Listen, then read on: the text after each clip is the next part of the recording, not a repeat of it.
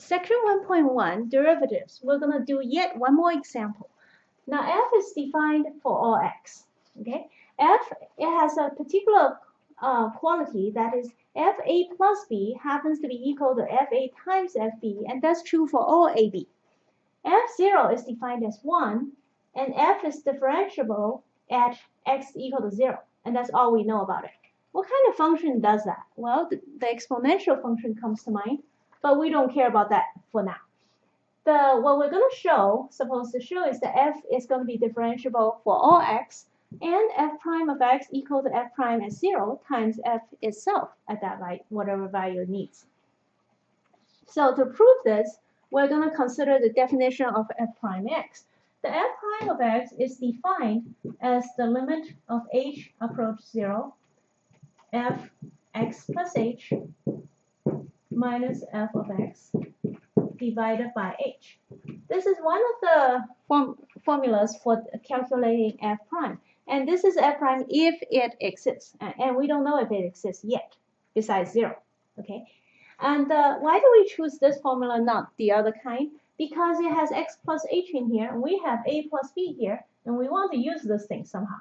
So using it, we get this is equal to the limit h goes to 0 fx times fh minus fx and the whole thing divided by h.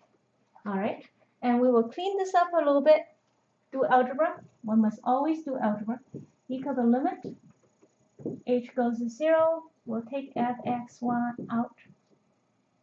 And we have f, then we have fh minus 1 divided by h. All right.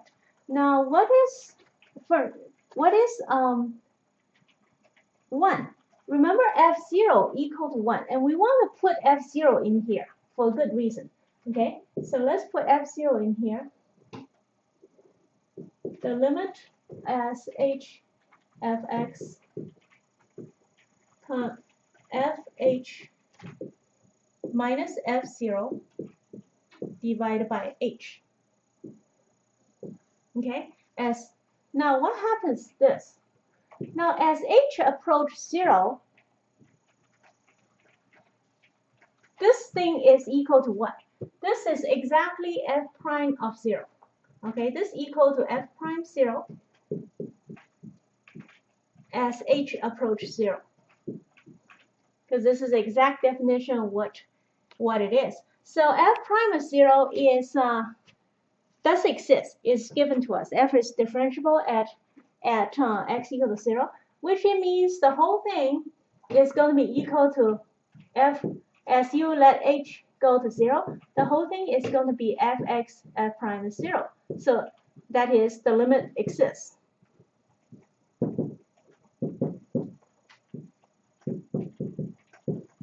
And we know what it is. So that proves both equations right there.